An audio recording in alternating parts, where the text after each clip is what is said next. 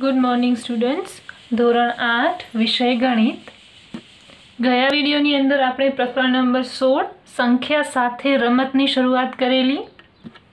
એની અંદર આપણે બે અંકોની સંખ્યાના અંકોના સ્થાન અદલ બદલ કરતાં મળી, મળતી નવી સંખ્યા અને મૂળ સંખ્યાનો તફાવતને નવ વડે ભાગી શકાય અને બંનેના સરવાળાને અગિયાર વડે નિશેષ ભાગી શકાય. એ બે નિયમોની અને નિયમોની વાત કરેલી અને એના આધારે કેટલીક રકમો લઈ અને એ નિયમ સાબિત પણ કરેલો. આજે આપણે વાત કરવાની છે ત્રણ અંકોની સંખ્યાના અંકોના સ્થાન અદલ બદલ કરીએ તો મળતી બીજી બે સંખ્યાઓ અને જે મૂળ સંખ્યા છે એના સરવાળાને સડત્રીસ વડે નિશેષ ભાગી શકાય છે. આ નિયમની સાબિતી આપણને નીચે આપેલ ત્રણ સંખ્યાઓના આધારે કરવાની છે. તો એમાં પહેલી સંખ્યા છે ત્રણસો ને પચીસ, બરાબર? તો અંકોની અદલા બદલી કરી અને આપણે નવી બે સંખ્યાઓ મેળવીએ તો બીજી સંખ્યા મળશે બસો ને ત્રેપન. અને ત્રીજી સંખ્યા મળશે પાંચસો ને બત્રીસ. હવે આ જે ત્રણ સંખ્યાઓ થઈ, એટલે કે નવી મળતી બે સંખ્યા અને મૂળ સંખ્યા, એ ત્રણેયનો સરવાળો કરવાનો છે. ત્રણસો પચીસ વત્તા બસો ત્રેપન વત્તા પાંચસો બત્રીસ. આનો સરવાળો કરીએ. પાંચ, છ, સાત, આઠ, નવ, દસ વધી ચડી એક. બે ને એક, ત્રણ ત્રણ ને ત્રણ, છ ને પાંચ, અગિયાર. વધી ચડી એક ત્રણ ને બે, પાંચ ને પાંચ, દસ ને એક, અગિયાર. તો સંખ્યા મળે છે એક હજાર એકસો દસ અથવા તો અગિયારસો દસ. હવે જે પણ સંખ્યા મળે એને આપણે સડત્રીસ વડે નિશેષ ભાગી શકીએ છીએ. બરાબર? તો જ્યારે આપણે આનો ભાગાકાર કરીએ, સંખ્યા મળે છે એક હજાર એકસો ને દસ ભાગ્યા સડત્રીસ. તો જ્યારે આપણે આનો ભાગાકાર કરીએ એક હજાર એકસો દસ ભાગ્યા સાડત્રીસ, બરાબર?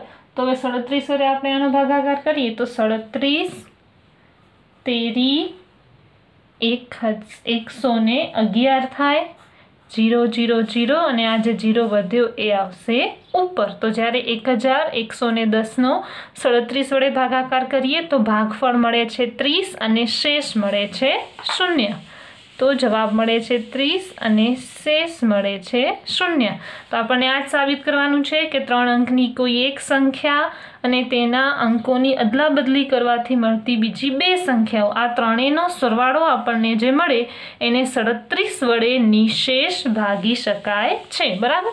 હવે ત્રીજી સંખ્યા છે પાંચસો ચોર્યાસી. અંકોની અદલા બદલી કરી નવી સંખ્યા બનાવીએ તો પહેલાં આઠ, પછી ચાર અને પછી પાંચ, એટલે આઠસો ને પિસ્તાલીસ અને પછી ચારસો ને અઠ્ઠાવન, બરાબર? હવે આ મળતી બંને સંખ્યાઓ અને મૂળ સંખ્યા ત્રણેયનો સરવાળો કરીએ તો પાંચસો ચોર્યાસી વત્તા આઠસો પિસ્તાળીસ વત્તા ચારસો ને અઠ્ઠાવન. પાંચને ચાર નવ, આઠ સોળ ને એક સત્તર, વધી ચડી એક, આઠ નવ દસ અગિયાર બાર તેર, ચૌદ પંદર સોળ સત્તર ને અઢારનો આઠડો વધી ચડી એક પાંચ, છ ને ચાર, દસ ને આઠ, અઢાર. સંખ્યા મળે છે એક હજાર આઠસો ને સત્યાસી. હવે એક હજાર આઠસો ને સત્યાવીસનો ભાગાકાર જ્યારે આપણે સડત્રીસ વડે કરીએ ત્યારે એક હજાર આઠસો સત્યાવીસ સોરી સત્યાસી ભાગ્યા સડત્રીસ. તો સડત્રીસ પચાસ, એકસો ને પંચ્યાસી જવાબ ત્રણ વધે છે. સાતને નીચે ઉતારીએ, સડત્રીસ, એકા, સડત્રીસ. તો આપણને ભાગફળ મળે છે એકાવન અને શેષ મળે છે શૂન્ય. તો આપણને એ જ સાબિત કરવાનું છે કે જ્યારે ત્રણ અંકની કોઈ એક સંખ્યાના અંકોની અદલા બદલી કરવાથી બે નવી સંખ્યાઓ મળે, એ ત્રણેયના સરવાળાને સડત્રીસ વડે નિશેષ ભાગી શકાય છે. તો આવી જ રીતે આ બીજો દાખલો છે, એ તમારે હોમવર્કની અંદર કરવાનો છે. હવે વાત કરીએ મૂળાક્ષરો એટલે કે એબીસીડી અને સંખ્યાઓ સાથેની રમત. સ્વાધ્યાય પોથી પાના નંબર બાસઠ, પાંચમો પ્રશ્ન છે, નીચેનામાં એ અને બીની કિંમતો શોધો, બરાબર? હવે અહીંયા દાખલા કરવાના કોઈ નિયમો કે કોઈ રીત નથી, આપણે આપણો મગજની થોડી તર્ક શક્તિનો ઉપયોગ કરી અને એ અને બીની કિંમત વિશે વિચાર કરવાનો છે, બરાબર? તો સૌથી પહેલાં જે કિંમતો આપણને ખબર છે, એ મૂકી દઈએ. ત્રણ વત્તા પાંચ, આઠ અને આપણને ખબર છે બે. હવે આ એ અને બીની કિંમત આપણને શોધવાની છે, બરાબર? તો અહીંયા આપણે આઠમાં કેટલા ઉમેરીએ તો બે જવાબ આવે, બરાબર? તો હવે આઠમાં આપણે ચાર ઉમેરીએ તો જવાબ શું મળશે? બાર, બરાબર? તો આઠની અંદર ચાર ઉમેરીએ તો બારનો બગડો વધી ચડી એક, પાંચ, છ, સાત, આઠ અને નવ. બરાબર? તો આના ઉપરથી આપણે શું કહી શકીએ? એની કિંમત કેટલી મળી? એ બરાબર ચાર. અને બીની કિંમત કેટલી મળી? બી બરાબર નવ. તો આવી રીતે થોડી તર્ક શક્તિનો ઉપયોગ કરી અને આપણને એ અને બીની કિંમતો શોધવાની છે. બીજા દાખલાની વાત કરીએ, તો ત્યાં આપણી પાસે પાંચ છે, ત્રણ, આઠ અને પાંચ. તો અહીંયા પણ એવી જ રીતે કે આઠની અંદર કેટલા ઉમેરીએ તો આપણને પાંચ જવાબ મળી શકે. તો આઠની અંદર સાત ઉમેરીએ તો જવાબ થાય પંદર, પંદરનો પાંચડો, વધી ચડી એક. પાંચ ને એક છ, સાત, આઠ ને નવ. તો અહીંયા પણ એની કિંમત મળે છે સાત અને બીની કિંમત મળે છે નવ. એવી રીતે ત્રીજો દાખલો જોઈએ. તો ત્રીજા દાખલાની અંદર આપણી પાસે કિંમતો છે ચાર, બે, પાંચ અને ત્રણ. તો અહીંયા પણ એમ જ ત્રણ છે કે પાંચની અંદર આપણે કેટલા ઉમેરીએ તો આપણને ત્રણ જવાબ મળશે. તો આઠ ઉમેરીએ. આઠ અને પાંચનો સરવાળો થશે તેર. તેરનો ત્રગડો વધી ચડી એક, ચાર, પાંચ, છ ને સાત. તો અહીંયા એની કિંમત આપણને મળી આઠ અને બીની કિંમત મળે છે સાત.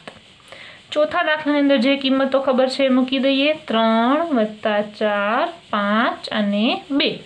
તો અહીંયા પણ એક પ્રશ્ન છે કે પાંચની અંદર કેટલા ઉમેરીએ તો બે જવાબ મળી શકે? તો પાંચની અંદર આપણે સાત ઉમેરીએ. તો સાતને પાંચ, બારનો બગડો વધી ચડી એક. ચારને એક, પાંચ, છ, સાતને આઠ. તો અહીંયા એની કિંમત મળે છે સાત અને બીની કિંમત મળે છે આઠ. બરાબર? પાંચમો દાખલો પણ એવી જ રીતે છે, પણ અહીંયા શું છે, આપણને એ બી એ ત્રણ વસ્તુઓની નથી ખબર. તો આપણને જેટલી ખબર છે, એની કિંમતો મૂકી દઈએ તો સડત્રીસ અને છ. હવે અહીંયા એ અને એ શું સૂચવે છે કે આ બંનેના જવાબ છે એ સરખા હોવા જોઈએ. અને અત્યાર સુધી આપણને ખબર પડી છે કે સંખ્યાની ઉપર વધી ચડેલી હશે, બરાબર? તો ત્રણ છે આપણી પાસે અને એક આપણી પાસે છે વધી, બરાબર? તો ત્રણ ને એક ચાર, તો કેટલા ઉમેરીએ? તો છ થાય, તો બીજા બે ઉમેરવાના. તો થઈ ગયા ત્રણ, ચાર, પાંચ અને છ. એટલે કે ખબર પડે કે એની કિંમત કેટલી છે? બે. તો અહીંયા પણ એ છે, તો ત્યાં પણ શું કિંમત આવશે? બે. તો સાતની અંદર આપણે કેટલા ઉમેરીએ તો આપણને બે નહીં, પણ કેટલો જવાબ જોઈએ છે બાર? કારણ કે એક વધી છે અને એક બે પોતે. તો બાર જવાબ ક્યારે મળે? સાતની અંદર પાંચ ઉમેરીએ ત્યારે. તો અહીંયા એની કિંમત થઈ બે અને બીની કિંમત થઈ પાંચ. એવી રીતે છઠ્ઠા દાખલાની વાત કરીએ. તો અહીંયા પણ આપણને એક એક અને જીરો. આટલી માહિતી આપેલ છે, બરાબર? હવે આપણી પાસે એક છે અને જવાબ જોઈએ છે જીરો. તો સ્વાભાવિકપણે આપણને ખબર છે કે એકની અંદર નવ ઉમેરીએ તો દસ જવાબ આવશે. દસનો એકમનો અંક શૂન્ય અને વધી ચડી એક. બરાબર? હવે જે અહીંયા જવાબ આવે છે, એ જ જવાબ અહીંયા આવે કારણ કે આ બંને શું છે? બી છે. એટલે કે જે જવાબ બી અહીંયા હશે, એ જ અહીંયા. એટલે કે જો અહીંયા નવ આવે છે, તો અહીંયા પણ જવાબ કેટલો આવે? નવ. જવાબ જોઈએ છે નવ, એક અને એક. બે આપણી પાસે છે. તો હજી કેટલા ઉમેરવા પડશે? સાત. તો સાતને એક આઠ ને એક નવ. નવ અને શૂન્ય. બરાબર? તો હવે એની કિંમત આપણને કેટલી મળે છે? સાત અને બીની કિંમત કેટલી મળે છે? નવ. બરાબર? તો આવી રીતે આપણને એ અને બીની કિંમત શોધવાની છે. હવે નવમા દાખલાની આપણે વાત કરીએ તો અહીંયા પણ આપણને એ અને બીની કિંમત જ શોધવાની છે. પણ ફેર શું છે? અહીંયા આપણી પાસે ત્રણ અંકની સંખ્યાઓ છે, એટલે થોડુંક વધારે તર્ક લગાડવું પડશે. તો એક આપણી પાસે બે છે અને છેલ્લી સંખ્યા એક છે અને આપણી પાસે વચ્ચેની સંખ્યા એક અને આઠ છે, બરાબર? હવે એ બે વખત છે, બી બી બી ત્રણ વખત છે, બરાબર? હવે સૌથી પહેલી વાત આપણે વિચારીએ તો અહીંયા આપણી પાસે એક છે અને આઠ આપણી પાસે જવાબ જોઈએ છીએ. તો એકની અંદર કેટલા ઉમેરીએ તો આઠ જવાબ મળે? સાત ઉમેરીએ, બરાબર? હવે એકની અંદર સાત ઉમેર્યા, હવે આ બી કેટલી વખત છે? ત્રણ વખત. તો અહીંયા પણ સાત આવશે અને અહીંયા પણ સાત આવશે. હવે અહીંયા આપણને કેટલો જવાબ જોઈએ છે? એક. સાત આપણી પાસે છે. તો સાતની અંદર કેટલા ઉમેરીએ તો એક, એટલે કે અગિયાર જવાબ આવી શકે. તો સાતની અંદર ચાર ઉમેરીએ, જવાબ આવશે અગિયારનો એક અહીંયા અને એક વધી. હવે બે ને એક ત્રણ. આપણને જવાબ કેટલો જોઈએ છે? સાત. તો ત્રણની અંદર કેટલા ઉમેરવા પડે? ચાર. ચારને બે છ ને એક સાત. તો એની કિંમત આપણને કેટલી મળી અહીંયા? બંનેમાં ચાર. અને બીની કિંમત કેટલી મળી? સાત. તો ત્રણ વખત બી છે, ત્રણેય વખત સરખો જવાબ મળતો હોય, બે વખત એ છે, બંને વખત સરખો જવાબ મળતો હોય, તો આપણા જવાબો સાચા, બરાબર? દસમા દાખલાની વાત કરીએ તો એમાં પણ એમ જ છે, એક છે આપણી પાસે, બે વત્તા છ, અને જવાબમાં આપણી પાસે છે જીરો અને નવ. ત્રણ વખત એ છે અને એક વખત બી છે, બરાબર? હવે સૌથી પહેલાં આપણે વિચાર કરીએ કે આપણને નવ જવાબ જોઈએ છે, બરાબર? હવે નવ જવાબ જોઈએ છીએ તો આપણે કિંમતો શું મૂકી શકીએ, બરાબર? હવે આપણે શું કરીશું? તો સૌથી પહેલાં આપણને એ તો ખબર જ છે કે આ જે સંખ્યા છે, એટલે કે જે પહેલી સંખ્યા હશે, એની ઉપર વધી હશે. તો અહીંયા વધી મૂકી દઈએ, છ ને એક, સાત ને એક, આઠ. તો આનો જવાબ શું મળશે? આઠ. આઠ કોની કિંમત છે એની તો જ્યાં જ્યાં એ છે, ત્યાં આપણે મૂકી દઈએ આઠ. બરાબર? કેવી રીતે કર્યું? વધી આપણને હશે જ આગળની સંખ્યા ઉપર એ ખબર છે. તો છ ને એક, સાત ને એક, આઠ. આઠ આઠ મળી ગયા. હવે અહીંયા આઠ છે, આપણને જવાબ જોઈએ છે નવ. તો બીની કિંમત કેટલી મૂકીએ? એક. આઠ ને એક નવ, પછી ક્રોસ ચેક કરી લેવાનું, સાચા છીએ કે નહીં? આઠને એક નવ આઠને મેં દસનો ઝીરો, વધી ચડી એક છ ને એક, સાતને એક, આઠ. થઈ ગયું? તો એની કિંમત આપણને મળે છે આઠ અને બીની કિંમત મળે છે એક. બરાબર? તો આવી રીતે આપણે આપણી તર્કશક્તિનો ઉપયોગ કરીને સરવાળાની અંદર કોઈ સંખ્યાઓ ન આપેલી હોય, એ અને બી એટલે કે મૂળાક્ષરો આપેલા હોય, તો એની કિંમત શોધી શકીએ, બરાબર? તો આજના વિડીયોમાં આપણે સરવાળાની અંદર કેવી રીતે તર્કનો ઉપયોગ કરી અને એ અને બીની કિંમત શોધાય એ સમજ્યા. અહીંયા આપણે આપણો વીડિયો પૂરો કરીએ છીએ. આવા કેટલાક પ્રેક્ટિસના દાખલા છે, એ હું તમને હોમવર્કની અંદર મોકલાવીશ. તમારે આવી જ રીતે તર્કનો ઉપયોગ કરી અને તેના જવાબો મેળવવાના રહેશે. હવે આવા જ તર્કના ઉપયોગ વડે ગુણાકારના દાખલાઓ કેવી રીતે કરવા એ આપણે આવતા વિડીયોની અંદર શીખીશું. તમને આની અંદર કાંઈ ન સમજાયું હોય કે હોમવર્કની અંદર જે આપું એમાં કાંઈ ખબર ન પડે તો મને પર્સનલી ફોન કે મેસેજ કરીને પૂછી લેવું. Thank you.